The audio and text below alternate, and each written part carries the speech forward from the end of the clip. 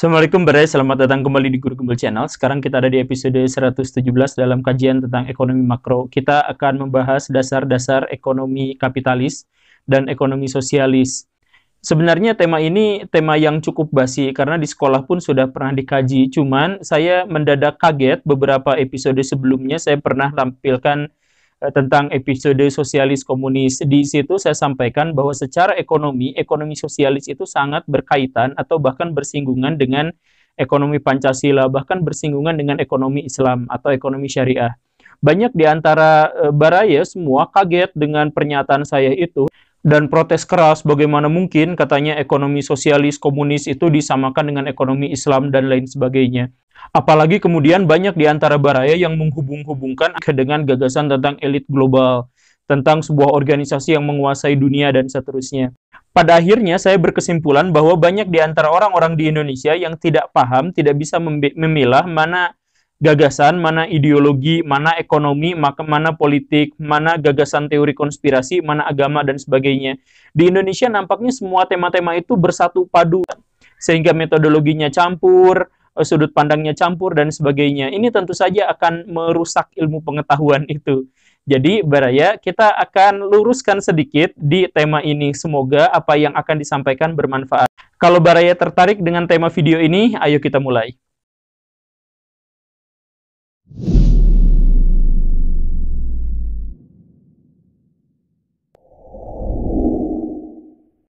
Kita akan mulai dari tiga pertanyaan. Pertanyaan pertama, seandainya negara punya duit 100 triliun, kemudian ada dua pihak yang meminta, yang satu golongan fakir miskin, yang satu lagi orang kaya raya. Mana yang harus dibantu oleh negara? Kalau negara yang dimaksud adalah negara kapitalis, maka yang pasti dibantu itu adalah orang yang kaya raya. Mereka akan diberikan kredit modal usaha untuk mengembangkan usahanya. Fakir miskinnya tidak diprioritaskan. Bagaimana pertimbangannya? Begini Baraya, dalam ekonomi kapitalis ada sebuah asumsi kalau orang kaya itu terjadi karena dia memang secara internal memiliki keterampilan untuk menjadi orang kaya. Kalau orang itu miskin karena memang sejatinya dia tidak bisa mengelola keuangan dengan baik. Sehingga kalau ada orang kaya dan ada orang miskin itu sesungguhnya adalah bukti tentang siapa yang harus diberi sokongan dana terlebih dahulu. Ketika kita memberikan sokongan dana kepada orang kaya, maka kita akan mendapatkan manfaat yang lebih besar karena orang kaya itu terbukti mampu bisa mengelola uang. Begitu sebaliknya. Saya ambil contoh seperti ini Baraya. Baraya bisa cek 10 orang paling kaya di Indonesia. Kebanyakan di antara mereka adalah orang-orang yang tidak kaya secara instan. Banyak di antaranya yang melalui hidup sangat miskin. Ada yang sebelumnya sopir angkot, ada yang dulu cuma mahasiswa biasa-biasa aja yang luntang-lantung, dan lain sebagainya. Tapi dalam kisaran waktu 10, 20, 30, 40 tahun, mereka tiba-tiba menjadi raksasa ekonomi. Kita juga bisa melihat misal Presiden Amerika Serikat yang sekarang Donald Trump, sebelum menjadi presiden, dia adalah seorang pengusaha besar. Tapi tidak banyak orang yang paham bahwa Donald Trump pernah bangkrut berkali-kali tetapi walaupun bangkrut berkali-kali sampai dia tidak punya uang sepeser pun, hanya dalam waktu hitungan bulan, hitungan tahun, dia bisa menjadi raksasa ekonomi lagi. Nah, jadi dari sini bisa diketahui bahwa orang kaya bukanlah orang yang secara eksternal mendapatkan bantuan kekayaan, tapi orang kaya adalah orang yang secara internal memang mampu menguasai ekonomi. Karena itu, ketika negara dimintai bantuan oleh dua pihak sekaligus, maka beri sumbangan kepada orang yang kaya. Kenapa? Pertama, kalau kita ngasih kreditan atau pinjaman kepada orang kaya, dalam waktu dekat uang itu bisa kembali plus bunganya yang pasti bisa besar. Kemudian yang kedua, kalau kita ngasih kepada orang kaya, si orang kaya itu tidak akan menghamburkan uang untuk semena-mena, tapi si orang kaya itu akan bikin pabrik, bikin perusahaan, bikin modal usaha, bikin mesin uang. Nah, dari perusahaan dan sebagainya yang diciptakan sama si orang-orang kaya itu, akhirnya menyedot lapangan pekerjaan dalam jumlah besar. Si miskin juga pada akhirnya akan tertarik. Inilah yang diistilahkan dengan trickle down effect.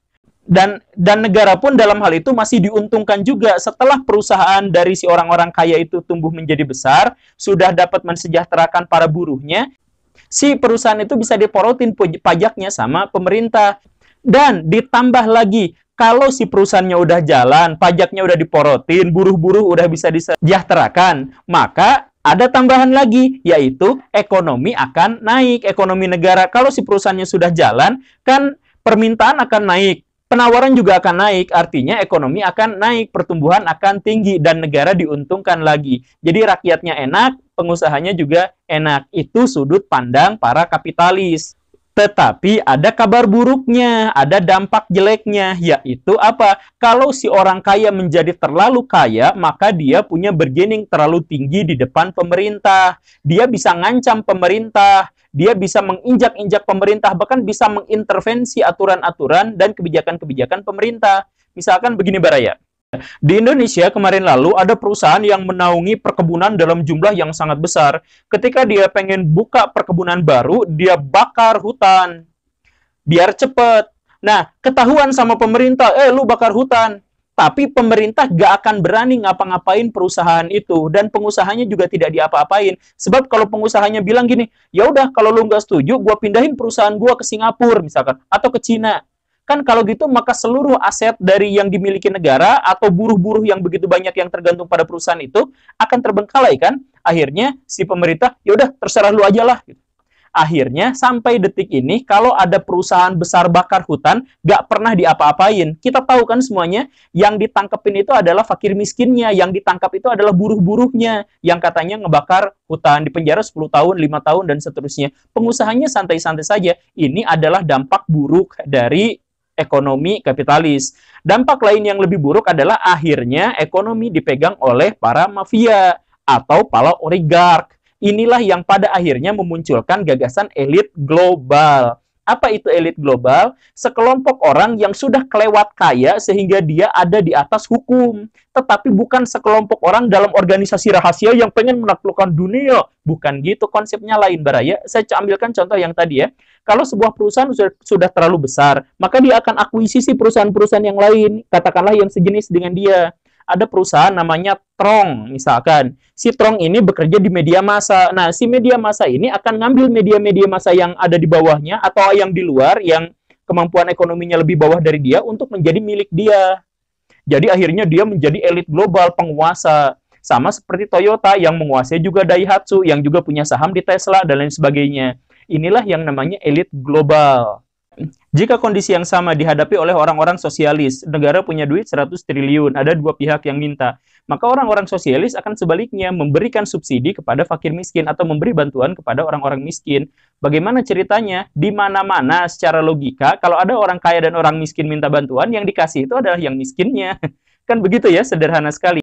Jadi dalam ekonomi sosialis, trickle down effect itu mitos, palsu, gak pernah ada sampai kekucuran ke bawah. Yang terjadi sebenarnya adalah kalau negara punya duit banyak, si orang-orang miskin itu sebenarnya banyak yang punya potensi juga untuk menjadi orang kaya, tapi dia tidak memiliki akses kekayaan itu, dia tidak punya kesempatan. Maka negara harus memberikan kesempatan kepada mereka untuk mendapatkan akses menuju kekayaan atau minimal menuju kemakmuran dan kesejahteraan. Kalau yang diberinya itu adalah si fakir miskin, maka kesenjangan ekonomi tidak akan hilang. Kan yang kaya tadi biarin aja orang udah kaya, nah yang miskin biarkan dia naik terus, dibantu sama pemerintah. Kalau sudah yang kayanya kaya, yang miskinnya dibantu jadi kaya, akhirnya semua rakyat menjadi kaya raya.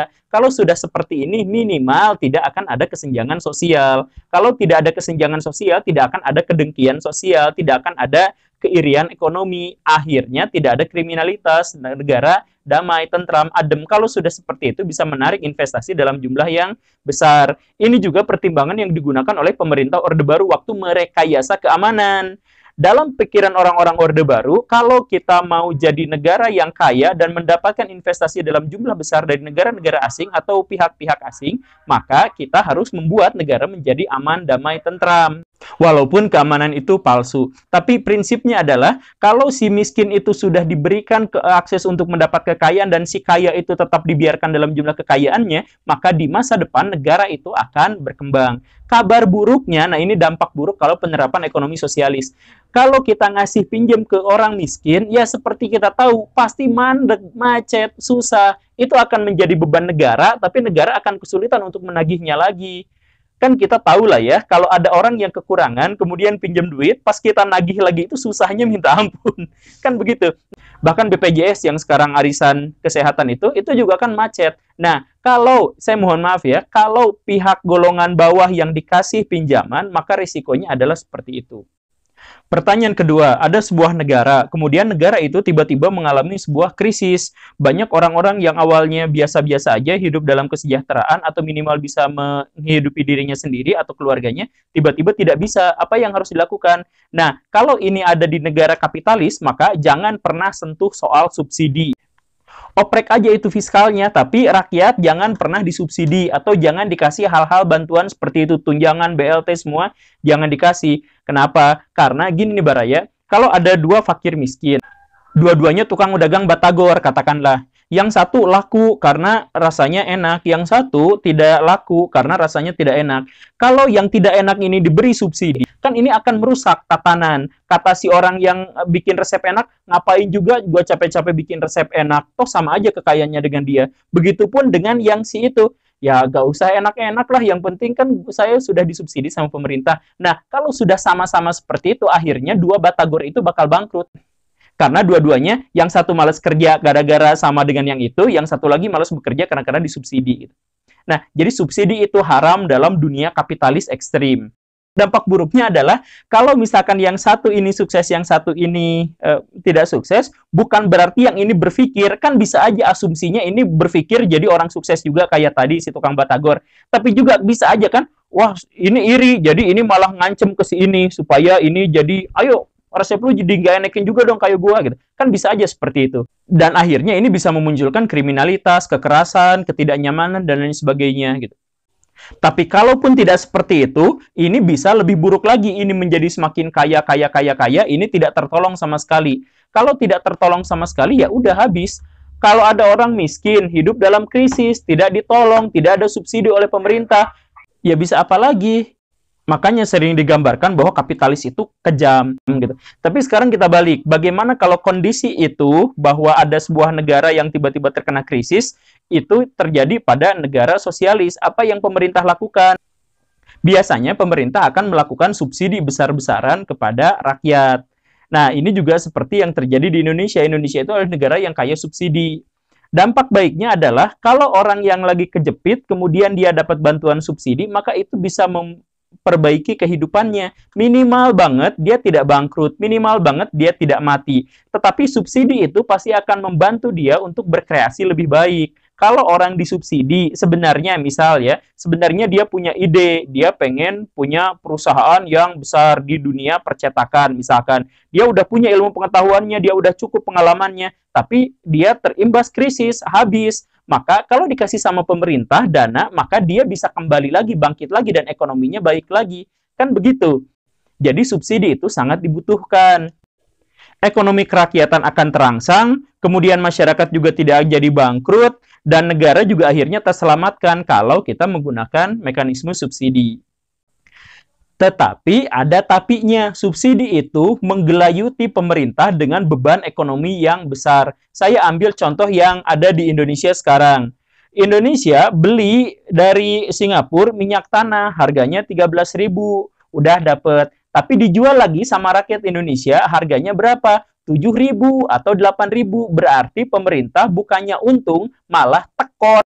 Lalu si masyarakat menggunakan BBM itu untuk siapa? Ternyata yang menggunakan BBM-nya itu orang yang naik Alphard, yang naik Mercy, dan lain sebagainya. Subsidi itu rentan sekali salah sasaran.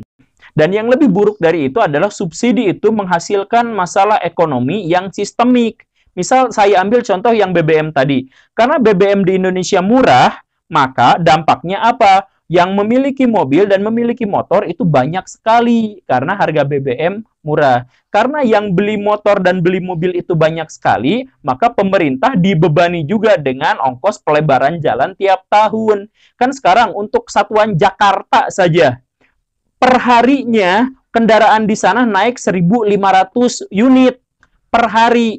Artinya, kalau begini dibiarkan terus, maka akan terjadi kemacetan. Kalau macet, warga Jakarta bakal demo, pemerintah yang disalahin. Walaupun mereka yang beli kendaraannya, akhirnya pemerintah bingung. Ya udah, jalan diperlebar atau bikin flyover. Kalau sudah seperti itu kan biayanya malah nambah lagi. Kalau sudah biayanya besar seperti itu, belum ngegusur orang di kanan kiri jalan, belum ngegusur pohon-pohon yang sudah ditanam puluhan tahun, bayar lagi ke dinas pertamanan dan sebagainya, kan rese juga. Nah, kalau sudah anggaplah sudah jadi lebar seperti itu, kan si rakyat tetap aja membeli lagi, membeli lagi, akhirnya terus saja melebar dan membanyak itu si mobil-mobil yang ada di situ. Dampaknya apa? Polusi udara. Polusi udara itu memberikan kerugian yang luar biasa buat negara. Dan selain itu, beban kesehatan masyarakat juga menjadi lebih besar. Kan pemerintah itu kalau ada orang di Indonesia yang sakit, terus berobat itu kan disubsidi sama pemerintah, iya kan? Nah, orang-orang yang sakit di Indonesia itu sakitnya gara-gara polusi. Berapa ratus ribu orang per tahun sakit gara-gara polusi. Nah, jadi impact-nya besar sekali dengan subsidi ini. Itu contohnya saja. Itu belum kalau subsidinya soal makanan, belum kalau subsidinya masalah perizinan, ah, dan lain sebagainya. Cuman yang jelas begitu.